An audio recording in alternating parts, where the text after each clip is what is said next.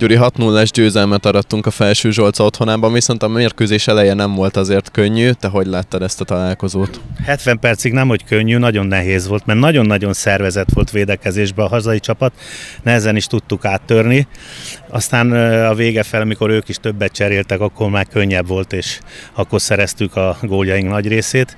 Végig kézbe tartottuk ezt a mérkőzést, örülök, hogy a fiataloknak ez sikerült, Egyénileg jó játékosaink vannak csapatban, azért ilyenkor kijön a rutintalanság, de például az új Géber ma is nagyon jól teljesített, mint hogy az elmúlt időben a tartalék csapatunkban is.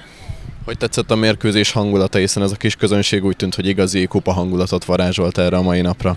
Hát nagyon kedvesek és aranyosak a helyiek, és a mérkőzésen is azt gondolom, hogy nagyon kultúrált volt a légkör, úgyhogy ilyen szempontból és a létesítmény is úgy látom rendben van. Én nagyon örülök, hogy megismertük ezt a helyet és eljöttünk ide.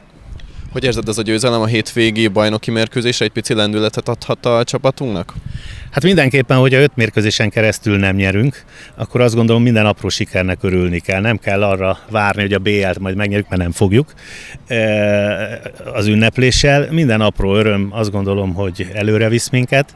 E, helyesen kell értékelnünk az elmúlt időszakot, e, az önértékelésnek a helyén kell lenni, és akkor azt gondolom, hogy elindulhatunk arra, amerre ennek a klubnak el kell előrefelé.